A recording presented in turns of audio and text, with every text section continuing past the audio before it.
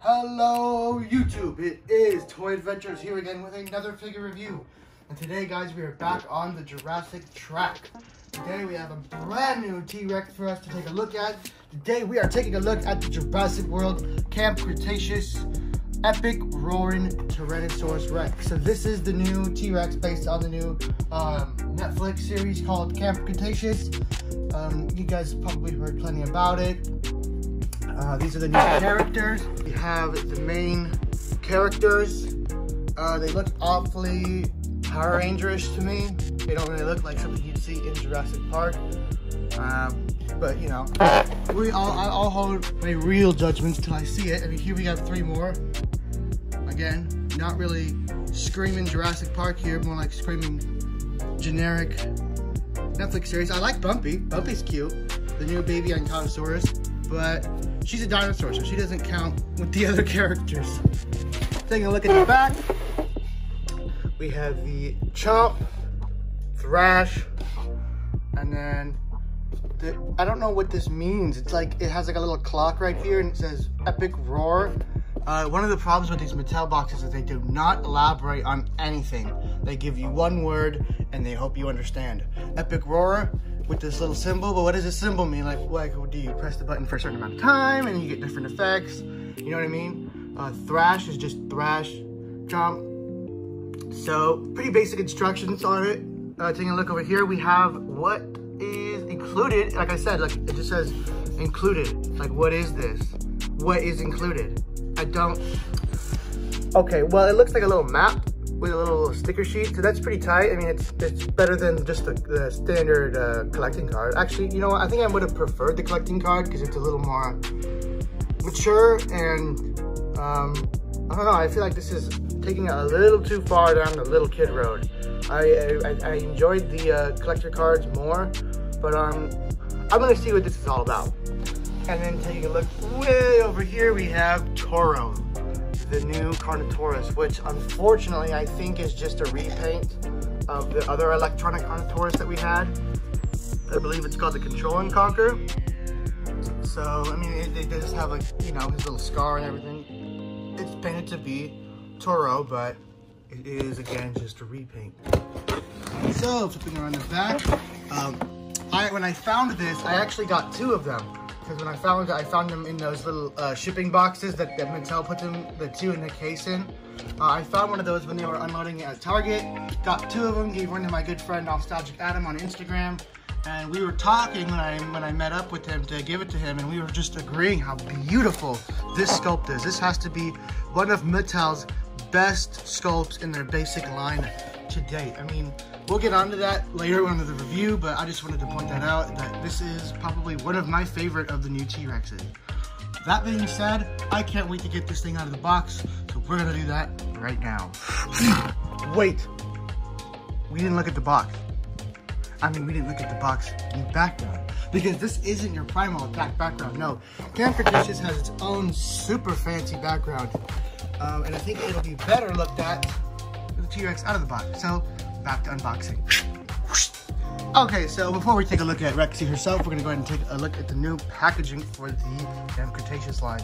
You have this absolutely beautiful looking forest here with those huge trees that you saw in the Lost World. You got kind of like a bridge here. This kind of looks like, you know, camp. Cretaceous, this looks like what the camp would be.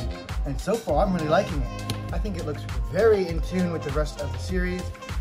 Um, very proper, very kind of woodlandy and naturey, that very Jurassic Park. I like it a lot.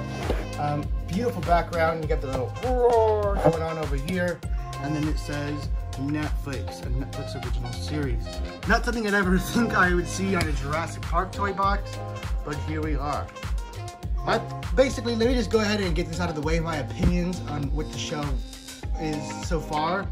Um, I'm happy Jurassic Park's getting a series.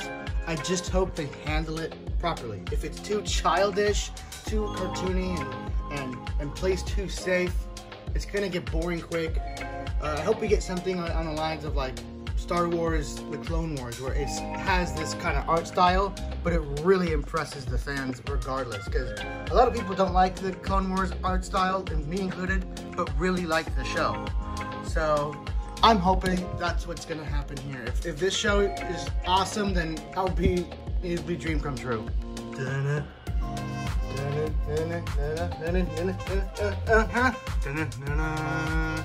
Here she is out of the box. Rexy, Roberta, whatever you wish to call her, here she is. Um, this is probably one of Mattel's better paint jobs, but that is not really saying much since Mattel paint jobs are kind of on purposely uh, basic. They get the overall color scheme of the dinosaur down, and it's not really super detailed. There's no like uh, stripes going down. It's really intricate. You can't make that into a mass-produced toy, so I'm not going to hold that against them. It does what it needs to. It looks like a T-Rex, but that is just tipping. That is just scratching the surface of all the improvements they've made on this T-Rex compared to their last T-Rex. So let's get looking. So I just discovered that this has a instruction manual. So I was kind of put in my place when I said if the instructions were basic on the back. Here is where you get the more detailed instructions on how to operate the toy. I'm not gonna read any of it. I'm just gonna let you guys pan over it, let you guys pause it if you guys really are interested in this instruction booklet.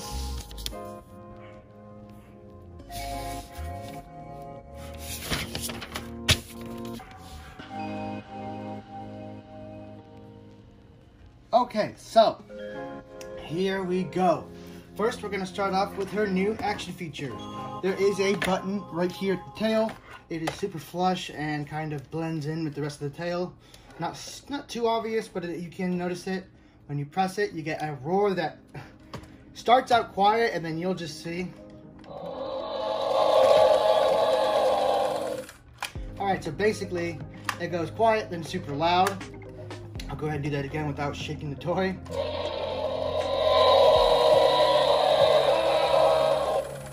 No, that is not me shaking it. That is the action gimmick. When you pull the button for an extended amount of time, it will roar and then it will shake as if it's doing the loud, you know, main roar. Now, that's not even what I like about this thing. If you noticed, move the tail around in any direction and you can puppeteer the Rex.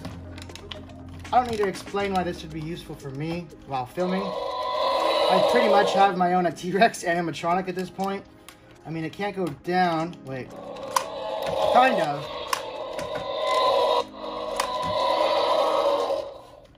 And if you just press it,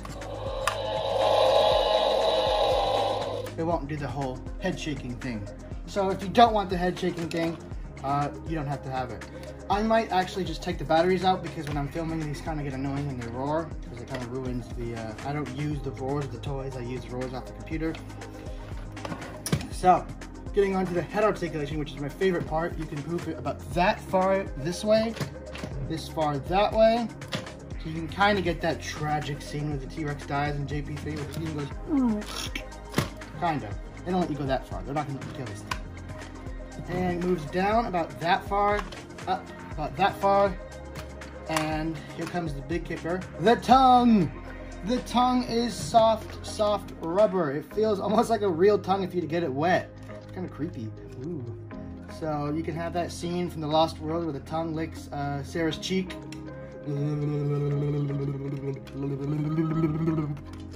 Yeah, pretty tight. Rubber arms, they can go about that far back, that far forward, or back. They're both back technically. Legs, you already know the deal. They're on ratchet. Which kind of sucks because with ratchets, you can't get in a specific uh, height or, you know, way that you want Otto to walk. This is how you'd want her to be, right here. But it's not, it's in between this and this. This is fine. This is probably what I'm going to keep it at. But it is kind of leaning up a little bit. It kind of bothers me just, just a tiny bit. This is one that I'm super eager to get custom um, because while the paint job here is uh, simple, I believe with just a little bit of, with, with just a custom paint job, this thing will look absolutely beautiful. Beautiful. So, we're gonna go ahead and take a look at the detailing so I can prove to you guys just how pretty this T-Rex really is. Starting over here at the head, you guys can see just how much sculpting and detail was put into this figure. Uh, it's like every part of the body has little rivets, not rivets, every part of the body has little uh, wrinkles and skin, flaps and all these different bumps and scales. It's just super, super detailed. I can imagine it almost, almost feels almost overdone, you know? Like it's just so much going on. Where most Rex's bodies have been kind of just like a little bit of sculpting here and there and then flat mostly, this one is just totally done out. And I'll show you with comparisons with Mattel's other Rexes to show you just how much of an improvement this one is. Take a look at the tongue. See there's even detail on the tongue and under the tongue. There's even detail under the tongue. Not to mention these teeth look really good compared to Mattel's usual teeth. They're not perfect, but they are better. Bottom, here is your scan code, because I always forget to put that. So yeah, that's pretty much it for the Rex itself. Now we get onto the fun part. How does this T-Rex scale in with the rest of the Jurassic World Mattel line? Starting us off with, I believe, I don't know if this is the first. Yeah, this is the first most people got their hands on of the Rexes. Is the uh, Extreme Chompin. So, one thing you can notice here, kind of, actually I can't show it on the custom because I don't know if the teeth were, were edited we're not going to compare the teeth on this one. I already had a custom at hand. So still bigger than this one. I really wish they'd make a bigger one of these. I really wish they'd make a bigger articulated Rex. Mattel, please. That and a Force Okay, we're moving on to the thrash and throw. Here we have the thrash and throw with the new Epic Roaring. And you can just tell, looking at the teeth, these are super globby and like there's hardly any definition between the teeth. It's just weird looking, you know? And then you come over here and each teeth is defined. You can tell where each teeth starts and, and ends. Just looks so much better. Uh, even around here at the nose, you can tell it's kind of flattish around here. There's a little bit of bumpy going on, but not like this. Um, I've heard some people complain about the brow. My complaint about this thing in its style is the eye.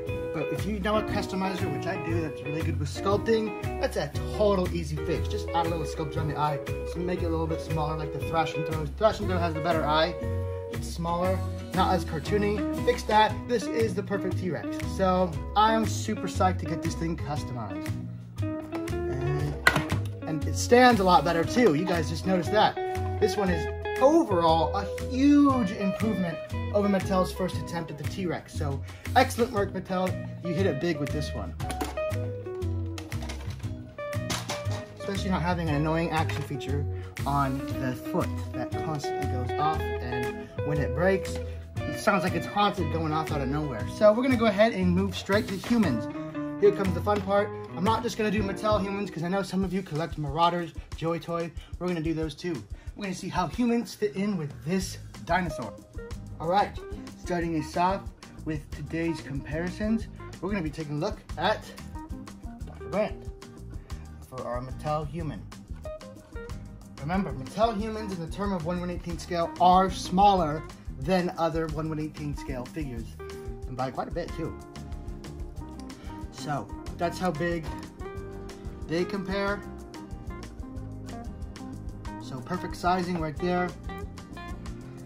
Then we move on to a more scientifically accurate scale with these, with the Marauders. This is how big you would probably really be compared to a fully grown Tyrannosaurus Rex if you were a fully grown male. So there's that. By the way, a lot of people ask me where I get my action figures. This is a Marauders. You find them on marauders.com, marauders.inc. Okay, you can buy whatever you want there. There are tons of figures. This is Joy Toy. Joy Toy is bought off of the, well, I get them off of Small Joe's, but you can get them off of eBay, Big Bad Toy Store. I get them off of Small Joe's because they're the US plug for these and they're the cheapest. There. So, there's that. And that pretty much wraps up the review for this dinosaur. The last thing we have to take a look at is that little map thing and we'll go ahead and get to that now, but I'm gonna go ahead and give my final thoughts on this T-Rex. It's a huge step in the right direction. The sound gimmick is cool. I like the shaking a little bit. I like the fact that you can just take out the batteries if you really don't want it and you just want the cool, you know, puppeteering gimmick. I love it. I love when they add the puppeteering gimmicks on these toys. Uh, I'm not sure if Mattel's watching my videos, but if you are, you guys did excellent on this one. Please, I don't know what you guys have to do. Please just get us the Ford Explorer. I'm, I'm on my hands and basically it's not much. It's like a tiny little, uh, I guess puzzle or, or maze map with these little stickers. I put on Toro and the T-Rex to show you. Not really impressive. That's what I think of your stickers. They don't even stick well. Anyway, guys, that's going to be it for the review. Guys, thank you so much for watching. Stay tuned for future movies and future reviews. All these new Mattel uh, Camp Cretaceous stuff's coming out, so I'll probably be back with reviews. Hopefully soon with the Seats. I don't know when. I really want the Seats. be bumpy. I don't know what. Guys, I'm so happy to bring you this review, and I'll catch you guys on the next video. This has been Toy Adventures, signing out. Thanks for watching, everybody. Have a great day.